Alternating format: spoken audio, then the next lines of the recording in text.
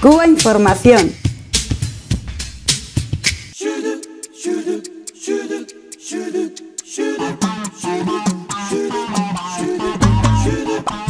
Bueno, vamos a, seguir adelante con el programa, en este caso hablando de la medicina cubana, ya sabemos la importancia que tiene desde el punto de vista económico también por los servicios de salud eh, que ofrece la isla de Cuba, así que vamos a hablar sobre esto.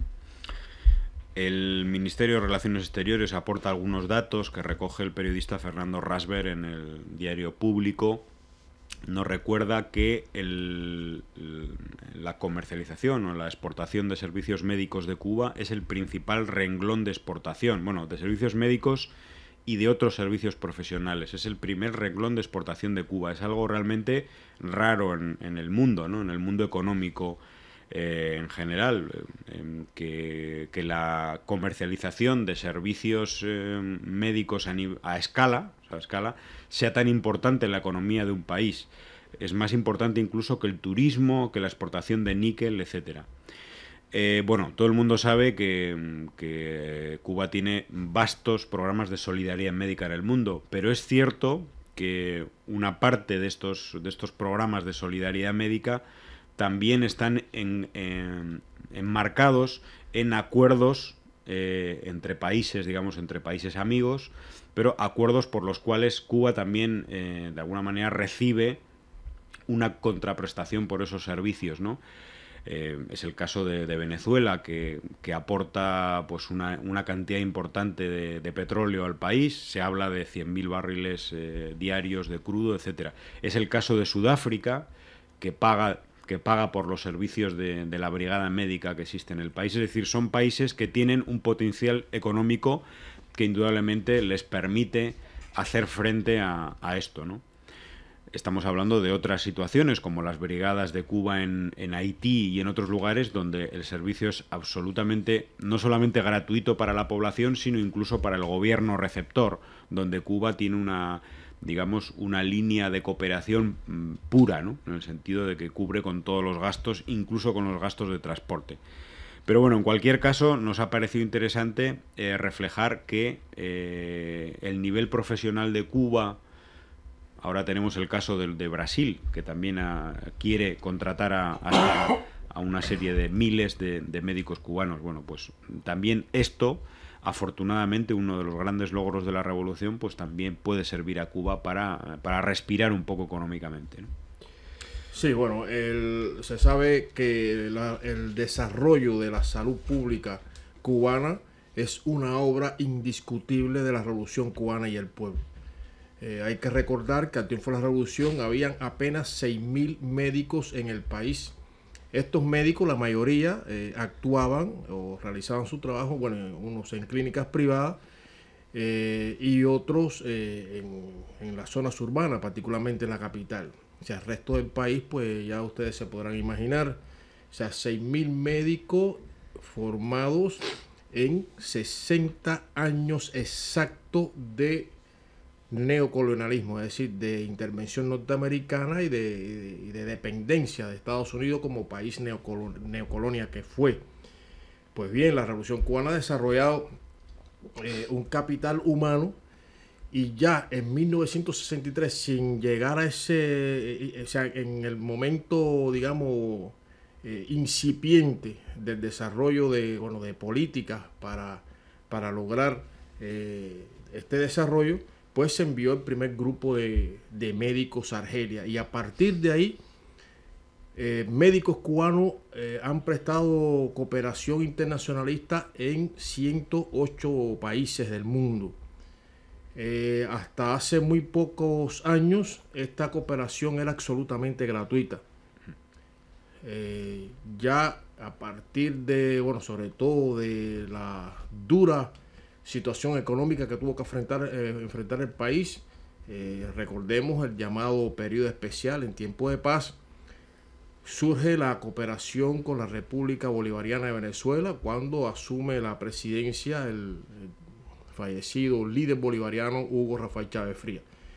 Esta cooperación que también ha sido objeto de, de campañas distorsionadas, campañas mediáticas y de ataques contra Cuba, pues eh, ha permitido dos cosas. Pues bueno, la el desarrollo y consolidación de la revolución bolivariana con eh, las misiones que ha apoyado el pueblo cubano con su revolución y dentro de ella los, eh, la atención médica a, la población más desfavorecida, esa que nunca vio un médico, que no tuvo atención por las, los diferentes gobiernos y a partir de ahí se desarrolla una, forma de, intercambio, es decir, los servicios médicos eh, en Venezuela eh, posibilitan el pago de los 100 mil barriles de petróleo que recibe el, el, país para su funcionamiento, para su también para su desarrollo. En Venezuela ah, se encuentran eh, alrededor de 40 mil médicos, o sea, especialistas de salud, entre médicos, enfermeras, técnicos y demás.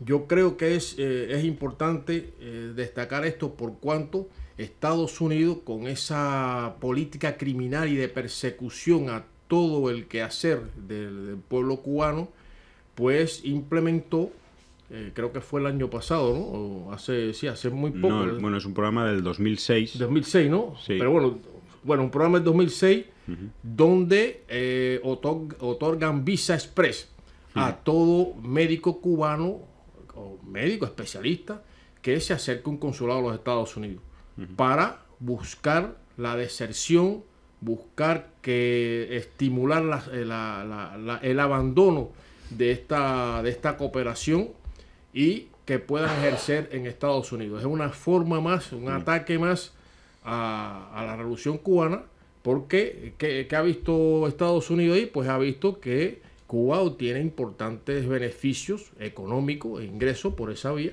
Y entonces, como la política de bloqueo es esa, tratar de asfixiar económicamente el país, pues se le ha ocurrido nada más y nada menos que tocar visa. No se la dan a otro a, otro especialista, a otro profesional de otro país, no, a Cuba, las brigadas médicas cubanas concretamente. Bueno, eh, desde luego que Cuba, en el caso de la salud, como en tantos otros casos, eh, ha roto temas o mitos de, del sistema capitalista, ¿no? Uno de esos es hablar en contra de la economía planificada, ¿no? Supuestamente la economía no debe ser planificada, eh, los mercados son los que organizan las cosas, si bien es cierto, los principales centros los mismos Estados Unidos, los principales, los países más inteligentes, podríamos decirlo, que son los más, los que dominan el resto del mundo, sí que planifican su economía, ¿no? En el caso, por ejemplo, de Latinoamérica e inclusive aquí en España, nos han vendido mucho la idea de que la educación debe ir de la mano con la empresa. Lo que las universidades producen debe ser lo que el mercado está solicitando, ¿no? Y eh, ahora mismo vemos el fracaso de ese, de, ese, de ese método de, trabajar en la educación cuando España tiene, no sé si ha sobrepasado el 25 o el 30% de sus eh, jóvenes en el desempleo.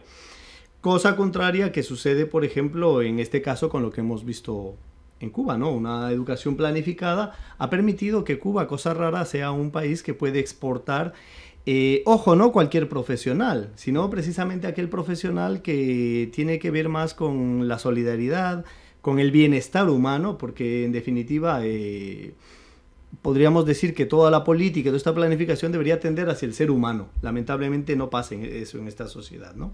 Eh, y también es importante que, si bien es cierto, yo creo que alguna gente hasta se puede sorprender, efectivamente, que cobre, cobre por estos servicios, ¿no? Pero, por ejemplo, yo me recuerdo el doctor Raúl Escobaris en El Torno, una población de Bolivia, decía, eh, lo que hizo Cuba con nosotros fue salvar de la quiebra que teníamos en la salud. En el sistema médico boliviano teníamos una quiebra total. ¿no? Y claro, pero ¿qué es lo que ha hecho? Eh, ha permitido a un gobierno, en este caso el de Evo Morales, por ejemplo, un gobierno progresista que ha cambiado el objeto de su atención, ha dicho nosotros como gobierno vamos a cuidar de las personas, vamos a darles salud, pero antaño no se podía decir solamente eso, porque podíamos decir, vamos a darle salud, como quiere hacer ahora Brasil, pero si no tengo médicos, ¿cómo lo hago? Hmm. Entonces yo creo que también es importante porque ha permitido a estos gobiernos, eh, antiguamente lo que hacía un gobierno cuando decía yo quiero dar salud, pues compraba un mega hospital, compraba un montón de tecnología, es decir, se hacía un super negocio, hmm. ¿no? Pero la persona que estaba votada en algún pueblo, en algún lugar de difícil acceso, sencillamente no tenía como recibir esa atención médica. En este caso, eh, yo creo que es importante resaltarlo porque si bien es cierto que Cuba también está obteniendo una contrapartida eh, que le beneficia, pero es precisamente a través de apoyar a este tipo de gobiernos que han puesto el centro de su atención en el ser humano. Bueno, hay, una cosa que quería puntualizar, que bueno, como he dicho antes, 130 mil médicos cubanos desde 1963 han prestado eh, colaboración en 108 países, pero esto no ha eh, disminuido o no ha afectado la atención médica a la población cubana. De hecho, eh, descontando los, los, médicos que prestan servicio en el exterior, la, atención a la salud o la proporción de médicos respecto a la población habitante, la proporción es superior eh, o mejor, vamos a decirlo así, que muchos países desarrollados. Es decir, que esta cooperación médica no se hace en detrimento de la calidad en la atención a la, a la, población eh, cubana. Hay que, hay que aclarar una cosa también y dejarla clara y es que mm, bueno, los programas de, solidaridad eh, cubana médica siguen siendo en una buena parte gratuitos, o sea, gratuitos, por supuesto, al, a los pacientes, para los pacientes siempre son gratuitos. Pero en muchos de los países sigue siendo una cooperación por la cual eh, Cuba no tiene ningún tipo de, beneficio o de respaldo económico. Incluso en países como Argentina, eh, es el Estado cubano el que, el que sufraga todo, ¿no?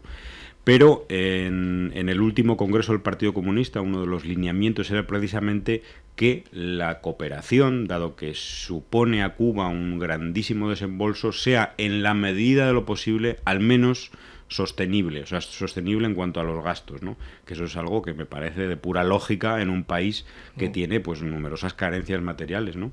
Y bueno, esto es algo eh, que creo que era necesario